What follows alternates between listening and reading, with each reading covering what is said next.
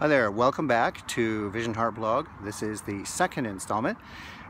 In the last blog I was talking about um, Gerhard Richter and his view of looking at the world through multiple points of view and in only in that way, to paraphrase him, only in that way by looking simultaneously in several different ways from several different angles will we get really uh, the beginning look at what reality actually is. Now, we're not going to be talking so much about reality and the definition of reality. That's for another time. But what we do want to look at is that multiplicity of several different points of view and how that was going that's going to relate to what we're talking about in the future. One of the interesting stories that came out of my time in India uh, about that, which is uh, something I wanted to share, was a really, really uh, wonderful little story about a group of blind men who were exposed to an elephant for the first time. And the definitions that came out of, and these were all very intelligent, very scholarly, very learned men, um, but they were blind. So when they were first exposed to an elephant, one had a hold of the trunk, one had a hold of the ear, one was along the side of the elephant, and one was at the back feeling the tail of the elephant. Each one of them were very adamant about what an elephant actually was and their description of an elephant. The first one said it was a long, tube-like thing, very flexible, very similar to a snake, and it blew wind. Um, that was his definition of an elephant. The second sage or gentleman argued with me. Said, no, no, no, no, no, you have no idea what an elephant is because it's actually a long, flat, very flappy, diaphanous thing. It's very leathery and so on, and it moves back and forth. It's a very, very wide, very flat thing. That is definitely the elephant. I have a hold of it right here, and I can tell you, sir, this is an elephant. The one along the side said to the first two, you are completely wrong. You have no idea what you're talking about. It's flat, it's long, it has a few hard bumps underneath. I think there's something underneath in sequence, something like it would feel like it lug along my side, but it's very big and it's very leathery and it's very flat. The man at the back said, you are all wrong. You are all so wrong. The elephant is a long, very narrow little thing that whips around and you have to watch out for it because it will hit you in the face. It's, it's, it's, it's like a, it's almost like a whip. And these men argued and argued and argued and none of them could agree about what an elephant was. And I think with all the different religious, scientific, social views that we've come up with over time, they are all these gentlemen holding on to different parts of the elephant and none of them has grasped the whole elephant. So in a sense, Richter's view is all of the gentlemen realizing that they were all holding on to part of the elephant. And this is what I think, as simple as that little analogy is, is, I think that's something that we all need to be very close, pay very close attention to. Something that we need to understand.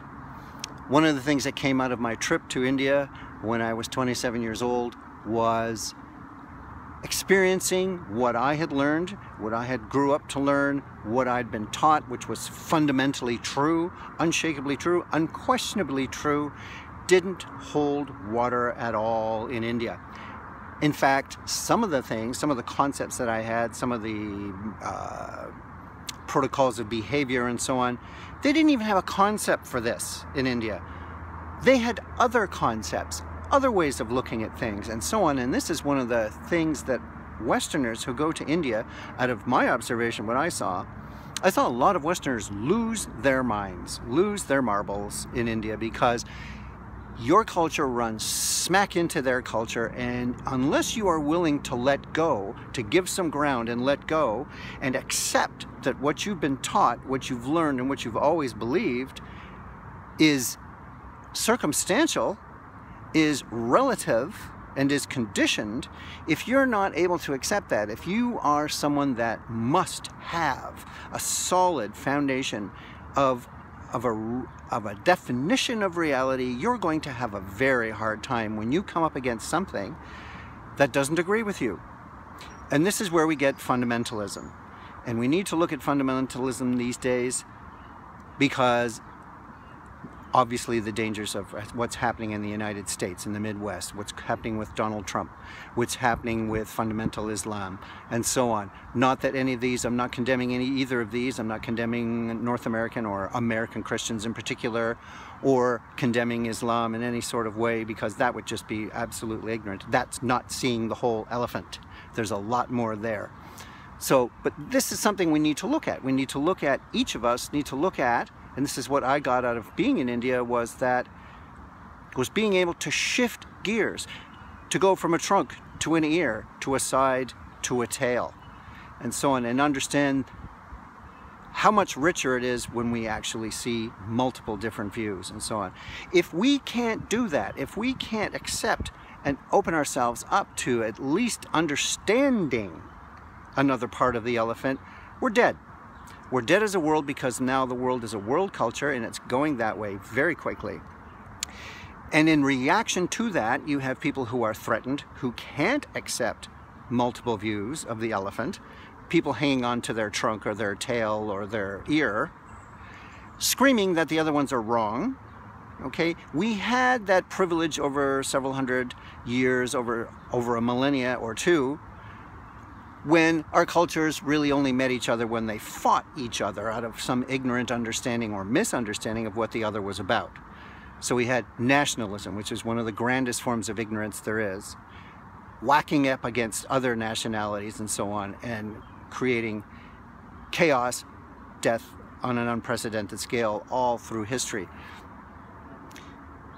If we are unable to see other parts of the elephant, this is what we're in for. But now we have a global culture, and yet we're retaining those old archaic views of the elephant. I'm still hanging on to my trunk. You're still hanging on to your ear. Someone else is hanging on to their tail and so on. And we have to learn to step back and see the old elephant. A global culture will not permit us to exist much longer on this planet if we are not able to step back and see the elephant. In fact, I think that's what I might just call this blog, Seeing the Elephant, Seeing the Whole Elephant. So this is ties in with what Richter was saying as we can't see reality from any one single point of view. And I think this is important. When we come out of this, what we're going to get out of this is then, or what connects to this, is religion versus spirituality and so on. And we already touched on fundamentalism and so we're going to be looking more in future at how to step beyond hanging on to your elephant. Learning maybe perhaps how to see, or at least understanding the communication that's coming down the other side here, where I'm holding on to the trunk and I'm listening to the man who's got a hold of the ear, and he's listening to the one who's got a hold of the side, feeling the side of the elephant. And we need to listen and we need to understand, hey, maybe this person has something. Maybe this point of view over here is something that's actually going to be beneficial to me. Perhaps I'm not seeing the whole elephant. We need to see the whole elephant. So until next time, thank you so much, and I welcome your suggestions and your comments. Cheers, have a good day.